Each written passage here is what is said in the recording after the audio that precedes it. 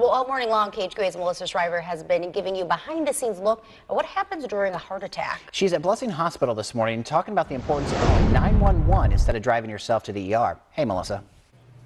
We've got some life-saving information for you on this Wednesday morning. All morning long, we've been talking about the importance of calling an ambulance during a heart attack. And a guy that knows exactly what I'm talking about is Jordan Stroot. He works here at the cath lab at Blessing Hospital.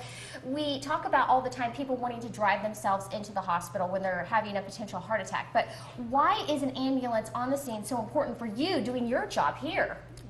Most important, it buys us time. If you're experiencing chest pain, you do not want to drive yourself to the hospital. Call 911, get the paramedics there.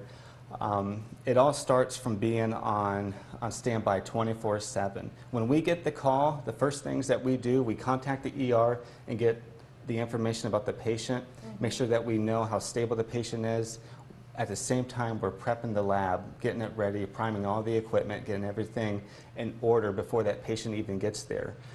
We are actually in the cath lab having it pretty much ready for the patient before the patient even gets to the hospital, which enables the paramedics and the ER staff to just bypass the ER, get to the cath lab, and get that artery open why is getting an artery open quickly such an important thing when we're talking about a heart attack? Well, time definitely is of the essence mm -hmm. in this mm-hmm. scenario. Uh, the longer the muscle goes without sufficient blood supply, it's going to weaken, it's going to be damaged, and mm -hmm. sometimes it even gets to a point where it can't recover and the, and the tissue dies.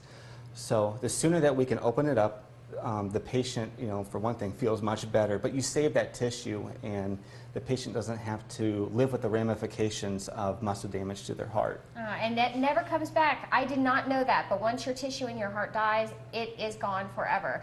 Coming up on KHQA this morning, big time things to pay attention to this morning. Symptoms of a heart attack, and that's different from a man and a woman. So things you need to know. Of course, heart disease, the number one killer of men and women in the United States.